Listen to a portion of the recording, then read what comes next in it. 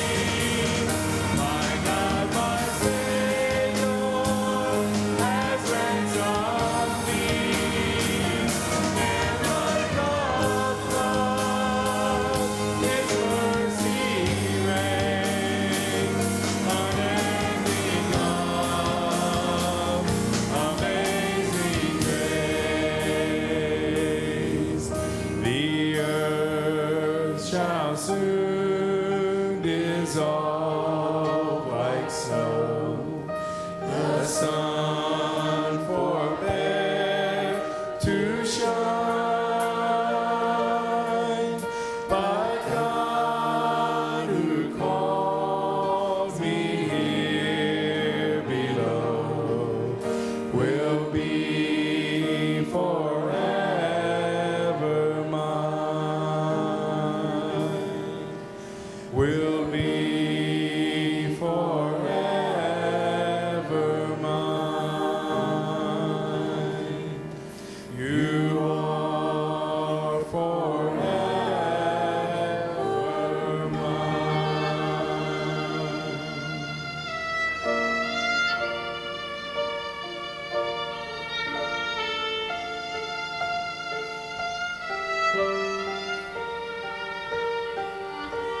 It's falling from the clouds, a strange and lovely sound. I'm here.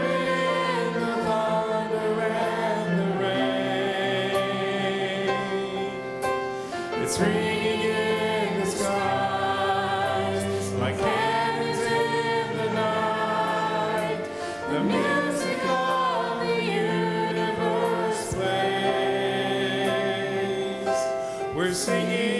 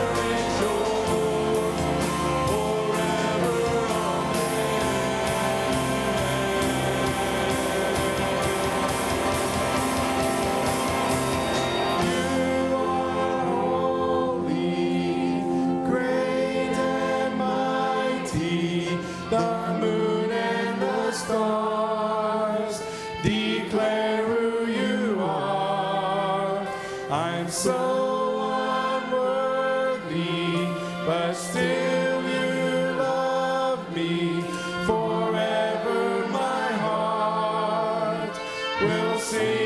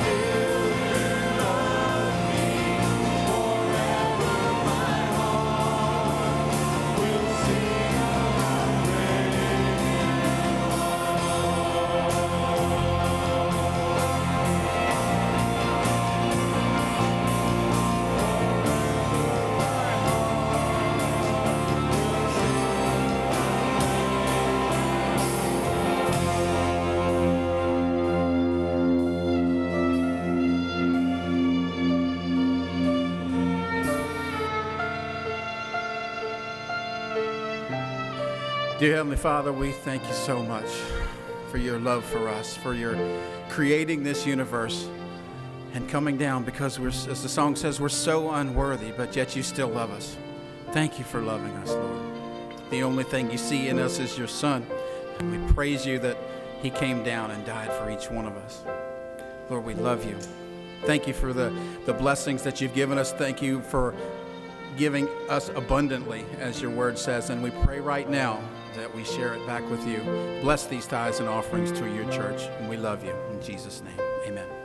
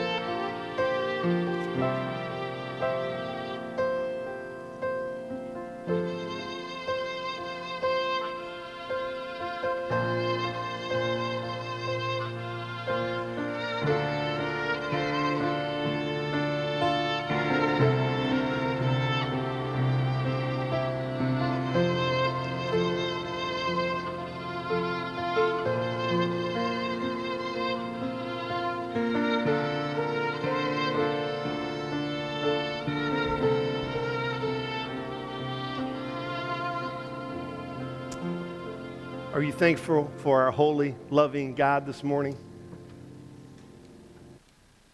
Are you thankful for a God who left heaven, became a man, and died for your sins, and um, paid for the price for those sins and rose from the grave on the third day? Say hallelujah. Hallelujah. I didn't give you something to say there, did I? Amen. Me too. And he's coming back. He could come back today. Let's, ta- let's have a little business meeting. If you believe Jesus could come back today, raise your hand. All right, good. All right. Why aren't you living like that? I mean, if I thought he was coming back today, I'd have my bags packed and everything ready to roll.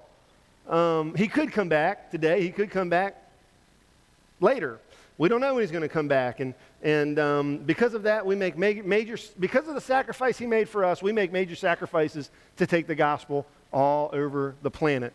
And one place we take the gospel is into the prisons. In just a minute, you're going to hear a fantastic testimony about one of our members, and we have several that, that are involved in prison ministry.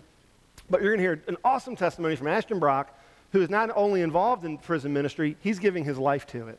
And uh, I'm excited about what God's doing in Ashton's life, in our church, and in his ministry. In just a minute, we're going we're gonna let him give a, a, a really a thorough description and detailed testimony of what he's doing. But before we do that, I want to read our text. Turn to Mark chapter 13. And if you're keeping notes or been keeping track, yes, we did Mark 14 last week. We're back to Mark 13. So we went from we're going from about two days before the crucifixion down to maybe three or four days before the crucifixion. And um, you know what? Time is running out. Time is running out. Do you believe that? Time is running out. Christ is going to return. Your opportunity to do whatever it is that you want to do is coming and it's passing. We have no idea exactly how fast, but my, my admonition to you this morning do whatever you need to do while there's still time to do it. Ashton's taking the gospel into the prisons, into the jails. He's a, a chaplain. He, and, and we have others uh, Rita takes it into the prisons. Bubba takes it into, we have several others. We support John Corcoran who does that. But we want to take, uh, and, and just, I think it's cool. We're singing, My chains are gone.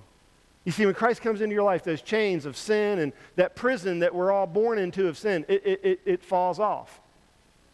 And what we read today is just a reminder that, um, man, we're in like the last of the fourth quarter. Did anybody watch college football yesterday? I think this was on my mind because I knew I was going to preach this today. But I mean, so many of those games went down to the last bit of the last game. It was very exciting. Georgia was down by 20 points, came back and took a one point lead, and then still managed to lose the game in the last seconds. But you'll notice in any sport, whatever sport you're into, when, when it gets to the last few minutes, man, every possession is precious. Uh, the, the, the, the urgency is different, right? Well, we're, what do they call it? The hurry up offense, isn't that in football? We're in a hurry up offense, folks.